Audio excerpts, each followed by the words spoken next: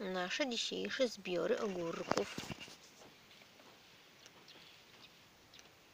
Pyszne, piękne.